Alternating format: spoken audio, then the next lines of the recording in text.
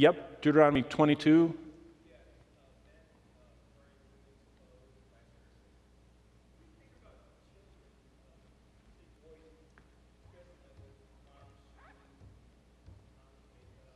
Mm-hmm.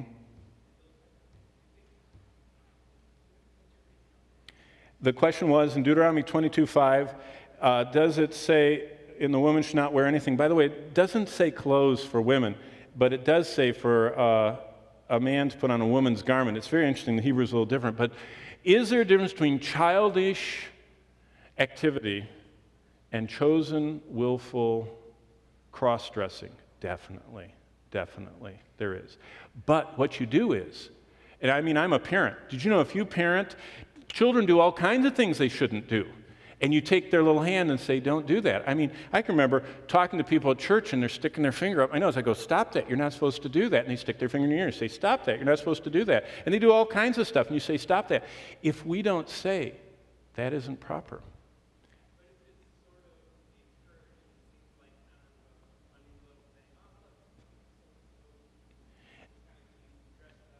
Mm-hmm.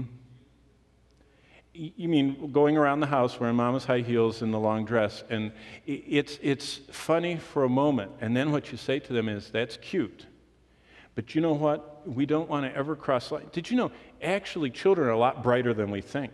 And if we say, you know what? There's a line you can cross here. It's just like, does every child that, that dresses up like some figure in Halloween, are they seeking and invoking the devil? No.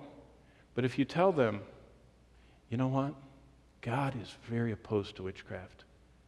And so, you know, you want to be you want to you want to be a Halloween character or whatever, we need to be very careful that we don't offend a holy God. I think we're too gracious and say, "Oh, it's funny." When when we have a culture that is going crazy. I mean, this new guy that they just tracked down, the cannibal homosexual, is anybody reading the paper about this?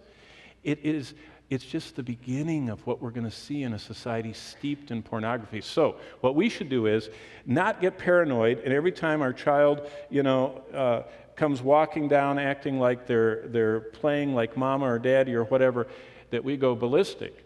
But what we say is, you know what, it's cute, it's fun, it's, it's okay for a moment, but the direction of our life is away from that because God is offended by that. So, so that's what I think we need to be very cautious to affirm the truth, but not to go overboard.